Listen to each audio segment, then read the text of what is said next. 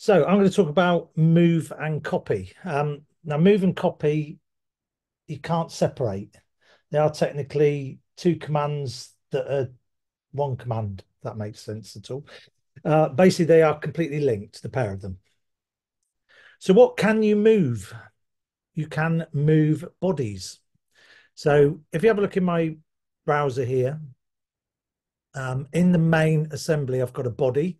So I've just got body one, that's that one. But you can also move bodies inside components. And in fact, you can move multiple bodies in components, but what you cannot do is move multiple bodies in multiple components. That makes sense. So if I try and highlight that body, it will not highlight it. Okay. So you can only move bodies if they are in the same component. You can't move multiple bodies from multiple components. Okay. Told you to start getting confusing. That's from the beginning. You can, in fact, move faces. So you can just select a face and you can move a face. You can move multiple faces. So you can select that face and that face, and I could actually move those two faces together. And you can move sketch parts. So sketch parts would include lines or the dots on the ends or anything. You can you can move any part of a sketch. So how do you move things? Or should I say, how do you move and copy things? Because they're, they're, they're connected. Well, the first thing you can do is you can just drag things. So you don't need to go into the sketch. You don't need to, so same as Russ said with the dimensions, you can actually drag part of a sketch and you can just drag it round. And you can pretty much do that with anything, really. Um, also, you can drag and reshape parts of a sketch depending upon what um, constraints you have. So say for a circle, I can make a circle bigger or smaller, and I can also move a circle around.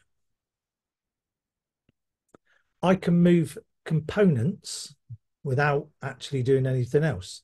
So if you just grab a component, so this body here is actually this component, I can grab that and I can just move that around the screen just by literally picking it and grabbing it. Now you may not be able to do that for two reasons. One, you'll need to hit the Alt key or the Option key on a Mac, or if you go here to the Select, you'll see I have Component Drag.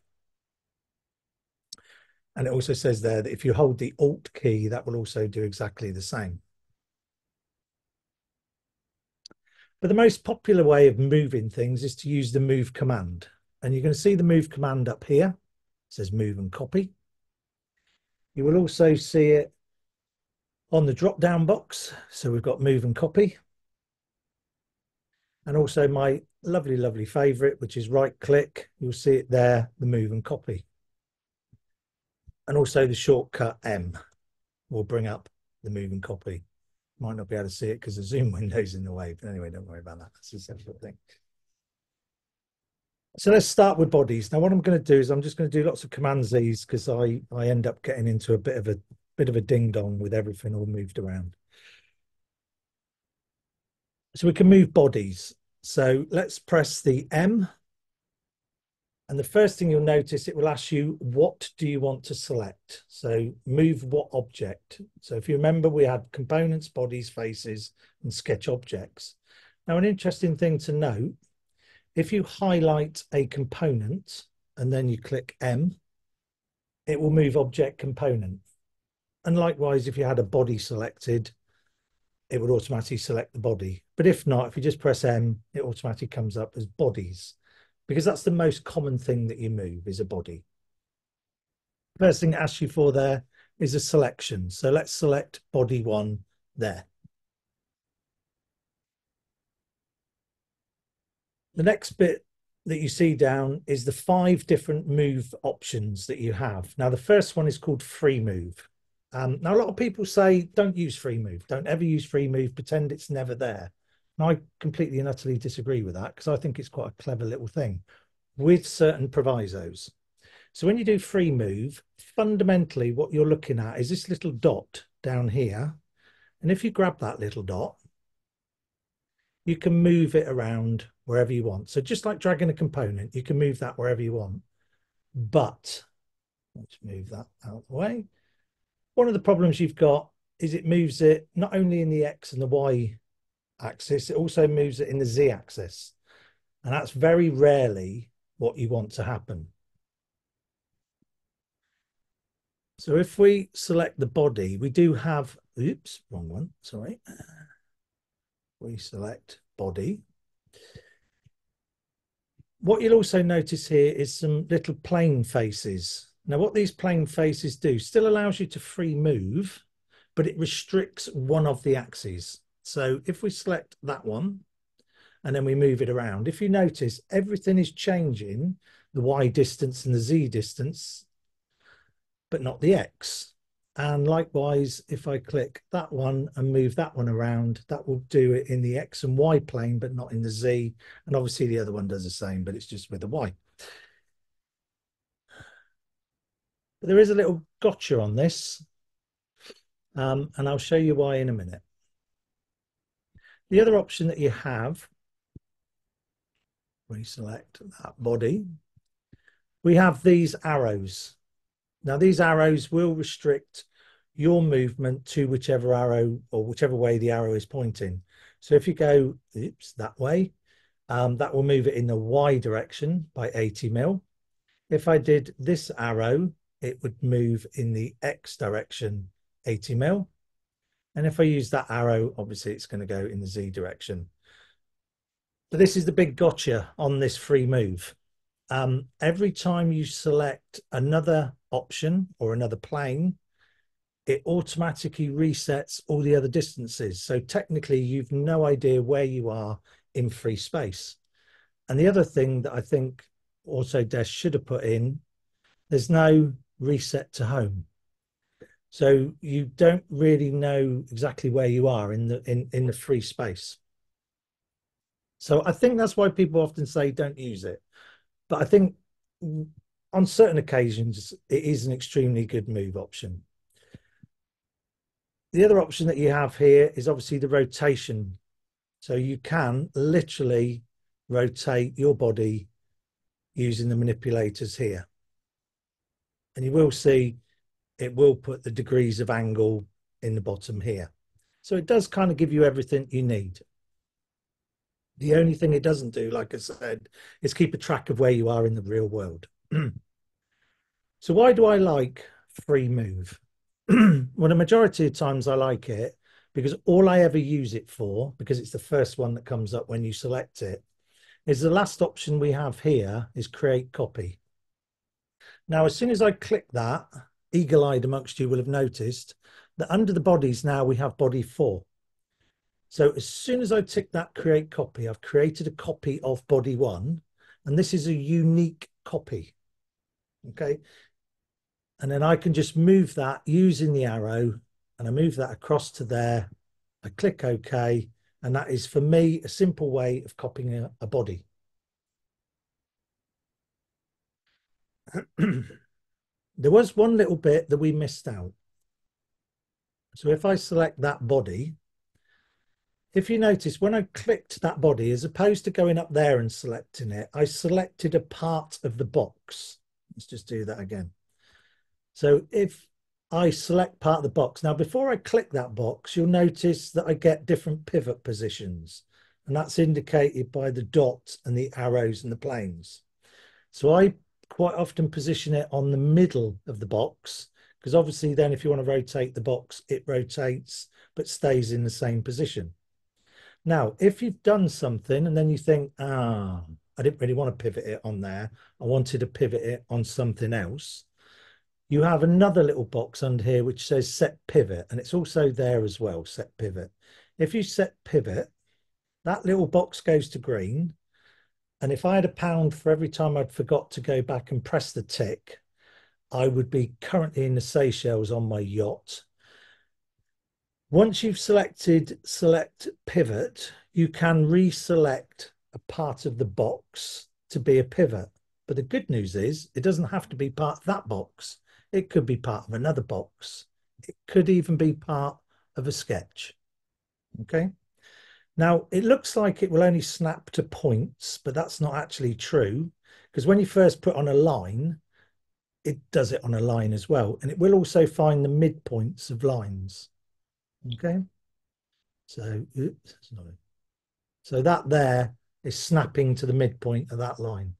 So if I did snap that as the pivot, remembering to click the green tick, which I nearly forgot then, by the way. Um, when you do rotate now, that will rotate the body around that sketch. Okay. now, the set pivot also does one very other interesting thing. If I go to set pivot again, if I selected this line, one thing you'll notice, especially if you go to a top view, the direction arrows follow that line's X and Y axis. Now, it's, it's not following the design's X and Y because they're, they're going across that way. So if I selected that, let me just say yes and then redo it. I can select that line and that will then pivot it on that angle. Or I could even do it on a pentagon and click it there so what happens now is, ooh, no, remember to click the green box. When you move the arrows now, it will stay in parallel with that line. Okay. I'm just going to go back and get myself where I know where I'm supposed to be. Otherwise I end up with too many bits and I don't know where I am. Now, often you just want to copy something so if you just select body one, I'm on a Mac, so I do Command C. If I then do Command V, that will do virtually everything and bring up the move command as well. Now, the create copy option has been grayed out because for obvious reasons, you've already just made a copy of it. And there it is again in body four. So you can then just drag that out and that's your copy. Now, another thing about copy that often catches me out, I do move and I select a body. I start to move it and then I go and I go, no, no, no, no, no, I want to make a copy. But as soon as you've started moving that, the create copy gets grayed out. Okay, so if you need to copy an object, you need to click the create copy first before you start moving it. Otherwise, you'll lose that option to create copy. Okay. So following on on the move bodies, if we go to that one, we have other options for moving. Now, the first one that comes up is translate. Now, translate is quite interesting, especially if I select a different body. So if I move this body here, and I go to the second option, which is translate. What this does now is this asks me for a direction, which is this box here. Now, this one currently is at component XYZ. So what does that mean? Well, when we look at, let's come out of there.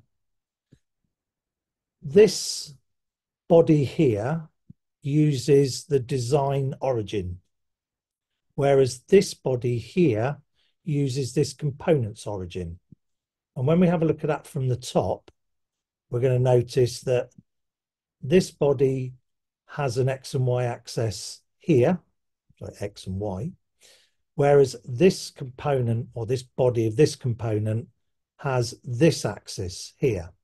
So if I click move and I move this body and I use translate, currently it's using component XYZ. But I do have an option to use the design XYZ, which will actually change it to the overall design origin, which is this one. Now, translate is really, really good because what I can do is I can put in the X distance 40 and I can put in the Y distance 40 and they've stayed there.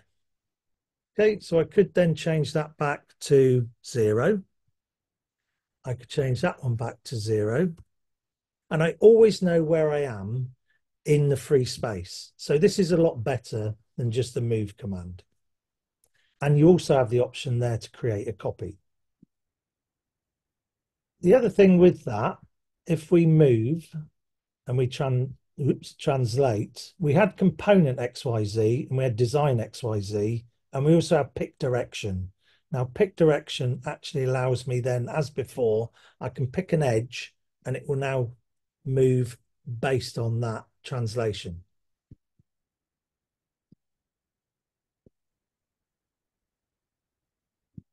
Go back to that one, and I'll just get rid of these origins just to get rid of that. Just get rid of these origins so they're not in the way. If we select that move, we also, the next option then we have is rotate.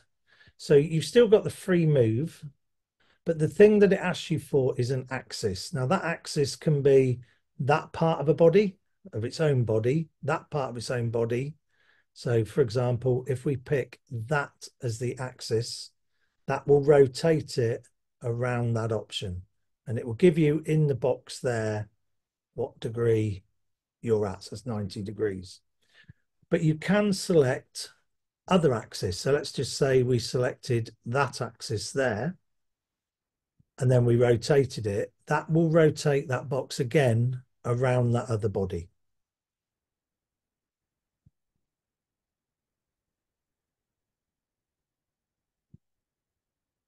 We move that body, then we go point to point. Point to point is a really good option. I use this a huge amount. This is probably one of my favorites. What it asks you to do is select an origin point, first of all. So the origin point can be any point, but there's also middle points as well. So when you put these up, it's hard to show you because it's doesn't matter how much I zoom, these boxes stay the same size. But you do have a point in the middle of there or the top or the bottom. So if we select that as the origin point, I can then select a target point. So my target point could be there. And what you'll notice is a little blue line that tells you where it's going to zoom across to. So if I click that one as the target point, it will move to that point. But with a target point, you can also select points on a sketch. So we can move him over to there we can move him to the end of there or there. It really doesn't matter where you move it. It just needs to be a point or the center of a line. Okay, so you can move it to there.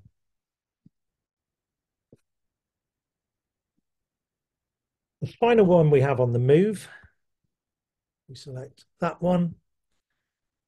No, I'll select that one again. We select that body, the final one we have is point to position. So if we select the point, so let's select that point there, we get that same option again, which is the coordinate space of either the component or the design. Now, this won't give me the arrows this time, but if you notice the dimensions of position X and Y, if we go design or component, they are completely different because that's based on where the axis is. So if we look at that component's origin is there and the overall design origin is here. So if I look from the top, move that around that way to make it a bit clearer. Your move based on the coordinate space of the component is from there to there. But if we go from the design that is from there to there. Now, the good thing about this one is we can now position that point back to zero. So if I just make that one zero and then make that one zero, that will swizz it to the center origin. One of the great things they did about this one, point to position, is they gave you an option to reset the position. So if you don't like that, you can go back and click reset position and that will put it exactly back into your 3D world at exactly the same position before you started moving it.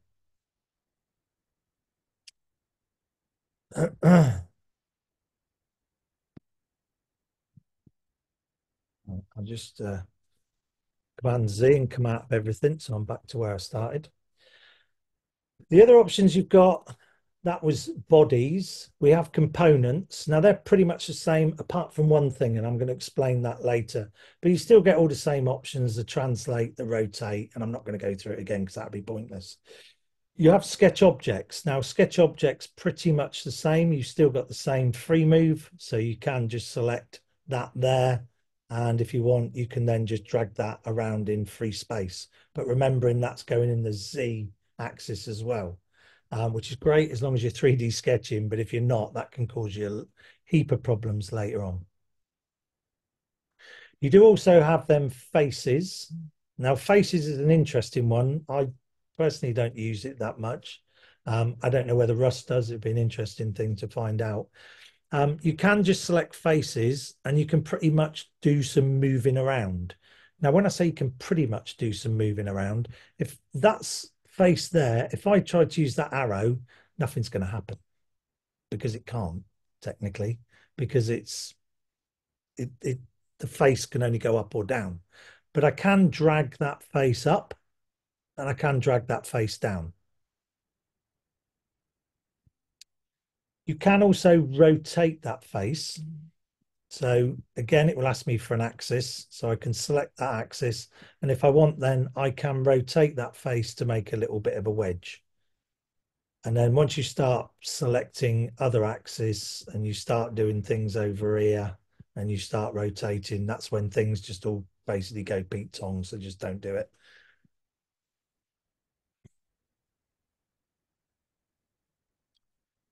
Now, going back to what I said before, let's just go back and go back to how I was. Um, you can just use the Command C and the Command V. So if we select this body here, so that's body one, if we just do Command C, Command V, and then move that across, that is what we call a unique body. Any body that you copy um, will always be unique.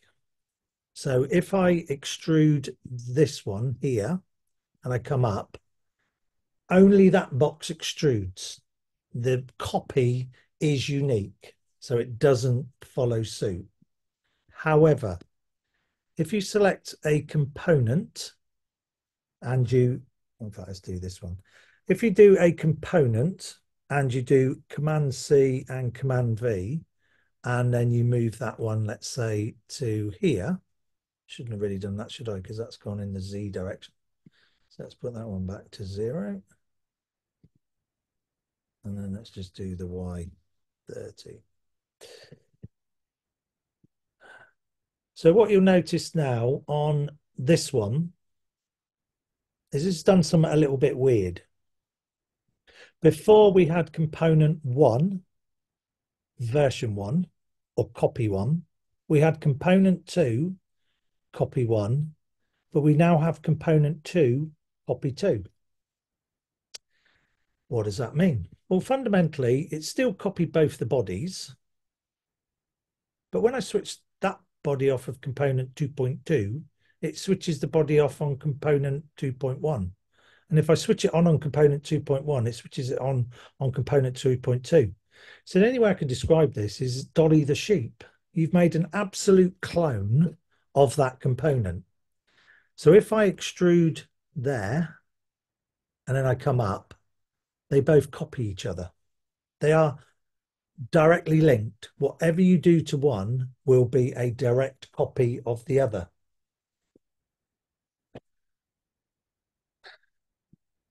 Now, sometimes you might not want that to happen. So you might say, well, I, I've spent a lot of time building this and I'd just like to make another copy of it and do something different, but I don't want them linked. And there is a way of doing that. So again, what I'm going to do is I'm going to just go back to where I was at the beginning. So if I right click component 1.1, I have an option here to copy. Now, if I right click component 1.1 and do paste, I end up in the same mess that I was before. So I ended up with component 1, version 1, and I've now got component one, version two, or copy two. So again, whatever I do to one will be mirrored on the other one. So there must be a better way of doing that. And there is, because luckily Autodesk worked this out. Just go back to there.